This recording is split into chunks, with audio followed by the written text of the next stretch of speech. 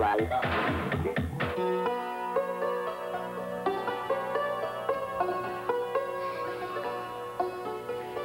I would like to propose a toast. A, a toast. toast. To our families. Families. families. Smash. you know, I got a lot from my family. My father, my father's English, and from him I think I got my sense for the bizarre my mother, she's German. From my mother I got, uh, well, mothered. and uh, from my two younger brothers, I think I got from them my love for wildlife. They're such animals. Oh, that's for me, Stephen. My family, on the other hand, is very religious. My dad is a minister, and my mom, well, being a minister's wife is a full-time job. But what's cool about them is they've been in love for over 30 years. It's a long time in today's world. You know, when I think back about my folks, like about having dinner with my folks and that, I always remember my dad. Because he always, he'd, as soon as he'd be sitting down, we'd be sitting down to eat a nice dinner or something, and then he'd come up with some, like, really lewd comment, like, oh, you know, and people have, like, bladder operations and stuff. he would, he would, I kid you not. So, I, I don't know, he's always been kind of crazy in a, in a funny sort of way, you know? Well, me and my mom have always been so close, right? Because we don't have any brothers or sisters, right? So we were like best Karen? friends all the time. Could, what? could you pass me a bun? Sure. Oh, here, I got one. Here. There you go. Yo.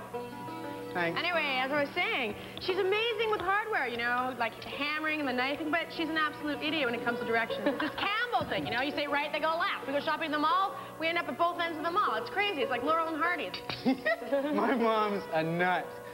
like, when she was younger, she used to ride a Harley Davidson. And last year, last year for Halloween, right, to give out the uh, candies to the kids, she gets dressed in this totally weird red costume, right? Like she had silver streamer hair and this mask. I mean, the whole getup, right? it was so bizarre. I mean, I think, oh, Stephen, yeah? could you pass me the salt? Mm-hmm.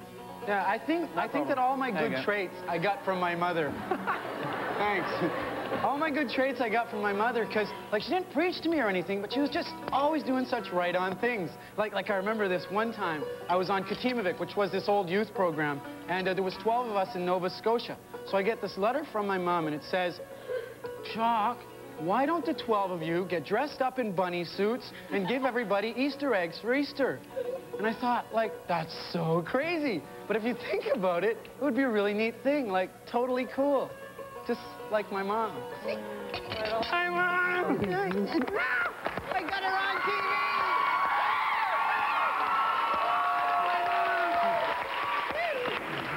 Are these vinyls final days? So what we're basically looking at is a world filled with too much vinyl. What the heck are we gonna do with all this raw material come 1992, huh? I'm asking you, tell me. How about this? Not only is it an attractive candy dish or ashtray, but it's also very useful as a conversation piece. And I love to talk, Me don't too. you? But anyway, let me talk about turntables. Turntables, what the heck are we gonna do with turntables? They're gonna be about as much use as a television without a remote control. You know what I'm saying? Don't worry. Pilot One proposes a wonderful suggestion. Here we have the turntable Lazy Susan. It's ideal for entertaining, especially if you've got 33 and a third guests at your dinner party. And what about 45? Small, I like 'em tall, I like 'em all. From Great Big Lakes Clothing comes custom-made acid wash jeans. The ultimate in acid wash chic, made with the most natural of man-made chemicals. Now you can stay safe and dry indoors while we take your old denim out in the rain. Acid rain, that is! No need to worry that your acid wash is out style. This is the acid wash of the future! So please, send us your jeans by midnight tomorrow because you never know when the world's gonna come to an end. And as an added bonus, we'll send you this dead mutant two-headed fish. So please, send us your jeans in a self-addressed stamped envelope. Please allow four to six eco cycles for delivery. Don't forget the fish! You know what comes after marriage for however short a time? A family. Mm. And since this is the family show, and since we're on TV, where, Where are the those TV families now? yeah, anyway, little Danny Partridge, the little Danny Partridge from the Partridge family with the very big mouth. Well, his money's where his mouth is now because now he's working at a Philadelphia radio station as a DJ. Another TV sister from the 70s, Mackenzie Phillips. That's this one, not Valerie Bertinelli. Um, she had a few years of success on One Day at a Time, and uh, then dropped into some trouble with drugs and alcohol. But now she's teaching kids about the problems of drug abuse. Yeah, I wish that was the case with um, Todd Bridges, this guy here on the left, uh, from Diff'rent Strokes. What you talking about, Willis? Talking about Todd Bridges, and don't call me Willis. Right. Uh, apparently this guy, um, he got so paranoid he took uh, to handing, to holding a handgun wherever he went, and, um, well, he was arrested for that.